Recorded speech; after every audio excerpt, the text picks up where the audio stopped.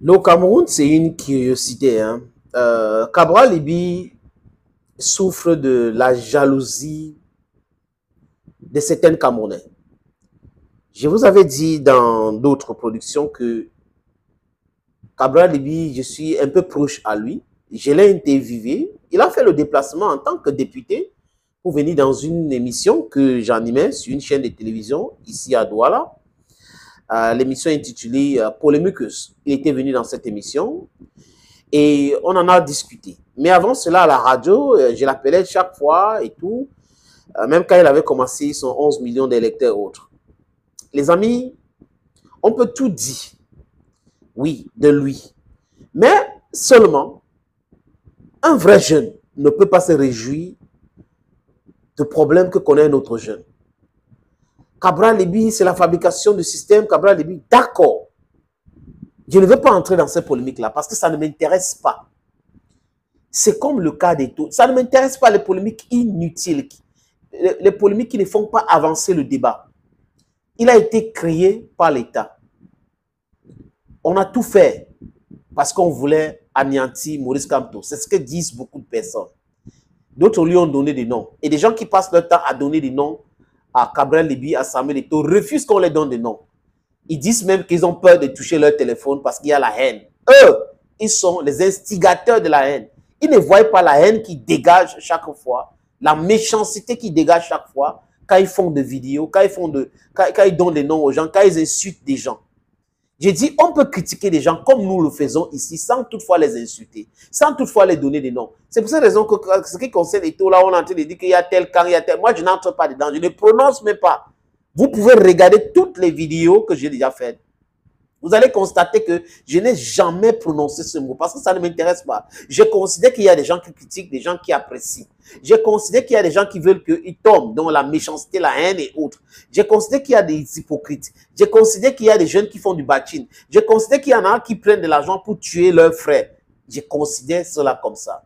Et le travail que nous faisons ici, c'est de diluer quand on dilue comme ça, on, est en train de les pousser à changer. Parce qu'on va travailler avec tout le monde, les amis. Chacun peut se tromper. Le plus important, c'est de se repentir de bonne foi. Vous voyez un peu, de se dire, OK, on, a, tellement fait du mal à, tel ou tel, on il faut qu'on change maintenant. C'est ce que nous voulons. On n'est pas là en train de demander d'exclure X ou Y. Non, ce n'est pas notre volonté ici. Du moins, moi. Je ne suis pas dans cette euh, perspective-là. D'ailleurs, j'ai toujours travaillé avec certaines personnes avec lesquelles je n'entendais pas. Et quand il y a certaines décisions, je me plie tranquillement. Je ne suis pas là dans des bras de fer inutiles. Parce que je pense qu'il y a d'autres choses plus importantes à faire pour pouvoir avancer dans la société, dans sa vie personnelle aussi. Pendant que Cabral Libi est aux États-Unis, il s'est filmé avec l'ambassadeur du Cameroun aux États-Unis. Euh, c'est monsieur qui a confondu euh, le 20 mai, à la fête de l'indépendance du Cameroun. Bref, c'est parce que le Cameroun, c'est une curiosité. Où euh, le jour de l'indépendance, on ne veut pas euh, organiser une fête. le jour de la réunification, on ne veut pas organiser une fête parce que ils se disent qu'on organise, on va se dire, ok, tel Cameroun avait son indépendance. Tout le monde connaît ça, que le Cameroun francophone a eu son indépendance le 1er janvier 1960. Et que, désolé les amis, le Cameroun anglophone a eu son indépendance le 1er octobre avec la réunification. Vous voyez un peu. Donc, ils ne veulent pas, alors que c'est des dates plus importantes, mais on nous parle de 20 mai qui est euh, une élection organisée, un référendum, une simulacre de référendum pour les buts que je vous ai déjà expliqué dans d'autres vidéos ici, les amis, pour contrôler le pétrole qui venait de, Cameroun anglophone. On a abrogé euh, le, fédéralisme. On a expliqué aux gens que c'était lourd à gérer, alors que c'est la France qui a dit pour gérer la manne pétrolière, il faut centraliser les choses. Et là, les gens vont venir nous demander d'aimer la France, d'aimer Aïdjo, d'aimer Paul Biya. Ce n'est pas possible pour moi, les amis. Si vous voulez vous aimer, euh, c'est votre problème. You can like them, it's your problem, it's your cup of tea. Moi, je ne vais pas venir ici demander aux gens de détester des, gens. Non, je critique le fonctionnement de certains politiciens, mais je n'ai pas de, la haine vis-à-vis des gens. Je n'ai pas de la haine. Je ne ressens pas la haine.